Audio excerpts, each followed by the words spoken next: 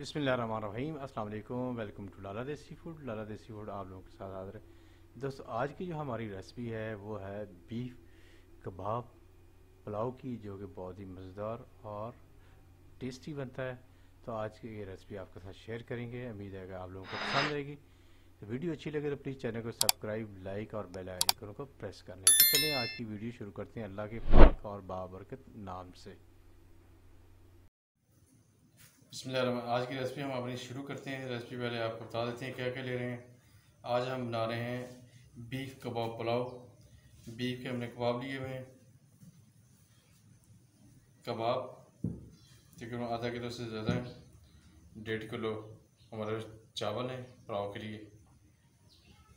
इसमें हम मसालों में डाल रहे हैं अदरक और लहसुन का पेस्ट एक एक चम्मच। टमाटो का पेस्ट है तकरीबन दो से तीन अदद का। ऑनियन ये भी है, तकरीबन तीन अदद। मसाला, कूटा हुआ मसाला red chilli one tablespoon नमक टेस्ट अकॉर्डिंग या हंसब ज़ायका जो भी है और खड़े मसालों के अंदर हम तेज़ पत्ता ले रहे हैं, दालचीनी के चंद टुकड़े, बादियान के फूल हैं दो तीन, काली मिर्च के पंद्रह बीस दाने, लौंग के चंद दाने, और ज़ीरा। तो अभी अपनी रेसिपी और घी को जो है ना, हमने आयल घी, जो भी है, अब घी हमने डाल दिया है, पतीले के अंदर तकरीबन डेढ़ सौ ग्राम। तो अभी अपनी रेसिपी शुरू करते हैं, अल्लाह का नाम लेके।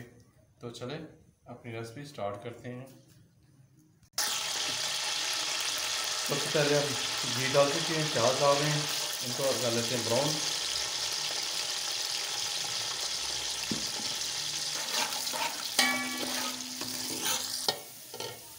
प्याज हमारे ब्राउन हो चुके हैं अभी हम डाल देते हैं इनमें कबाब जैसे बीफ कबाब।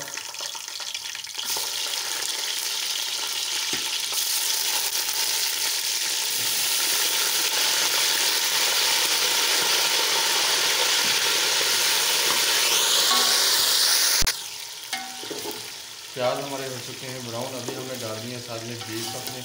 बीफ कबाब हैं। इनको अच्छी तरह कर लेते हैं फ्राई।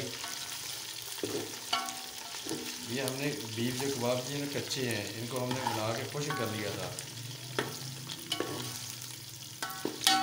जैसा खुश गोश्त होता है ना, ये भी उसी टाइप के बन जाते हैं। हमने फ्राई नहीं किया था, कुछ नहीं किया था, इनको बना के अपने पास खुश कर लिया था। अभी थोड़ी देर इनको करते हैं फ्राई उसके बाद बाकी मसाले डालते हैं।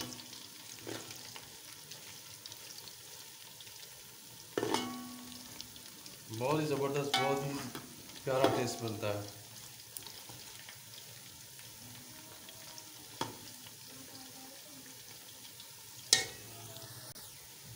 अभी फ्राई हो चुके हैं। अभी हम डाल देते हैं टमाटर का पेस्ट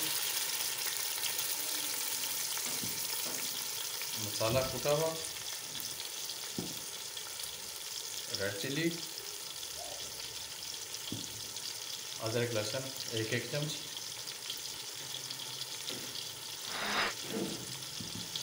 नमक टेस्ट अकॉर्डिंग चेक करेंगे, अगर कम होगा तो और डाल देंगे। अगर ज़्यादा होगा तो फिर ज़रूरत नहीं है ज़्यादा तो नहीं होगा। और खड़े मसाले उनके अंदर है तेज़ पत्ता है, दालचीनी है बाजान का फूल, काली मिर्च, ज़ीरा और ये चीज़ें।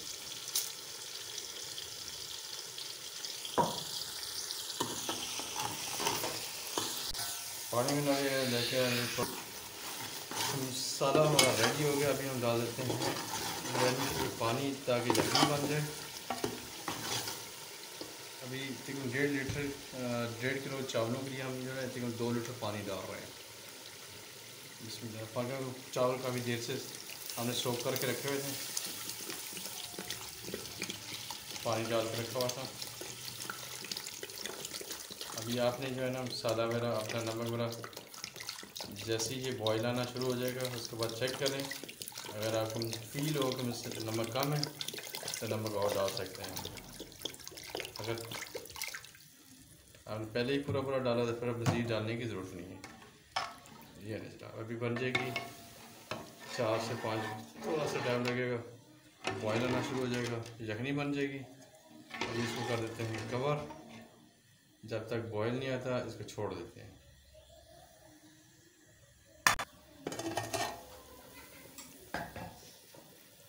अभी हम लोग कर लेते हैं इसका नमक चेक अगर कम होगा तो हम डाल देते हैं। बिस्मिल्लाह ओके नमक ओके अभी हम डाल देते हैं चावल, जो सोख करके रखे हुए थे। अभी डाल रहे हैं चावल। बिस्मिल्लाह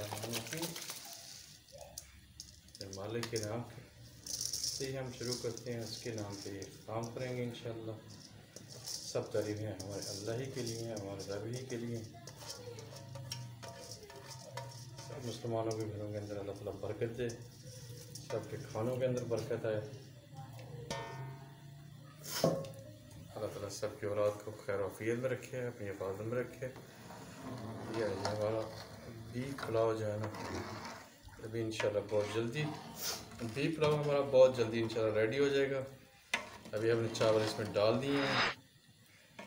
बीफ कबाब पुलाव देख रहे हैं आप प्लीज़ हमारे कबाब, माशाल्लाह, ज़बरदस्त बनेंगे। आप भी अभी इसको कर देते हैं कवर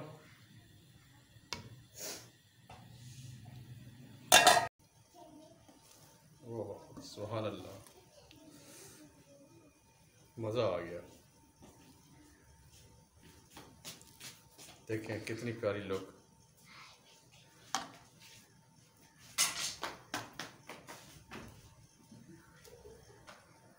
अभी कर लेते हैं सबसे पहले डिश आउट उसके बाद। अल्हम्दुलिल्लाह अल्हम्दुलिल्लाह दोस्तों, हमारी आज की डिश बिल्कुल रेडी हो गई है। हमने डिश आउट कर दिया हमने अपना जो बीफ पुलाव आज बनाना था बीफ कबाब पुलाव, हमारा बिल्कुल रेडी हो गया डिश आउट कर दिया है। आपके सामने बहुत ज़बरदस्त लोग हैं। अभी हम अपने छोटे बेटे को बुलाते हैं मोहम्मद आशम को उसको कहते हैं आगे चेक करें और फिर बताते हैं। मोहम्मद आशम आज ना यार।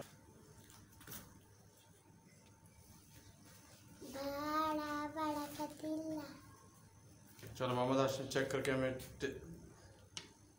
बेटा छोटा लघुआ डालते हैं।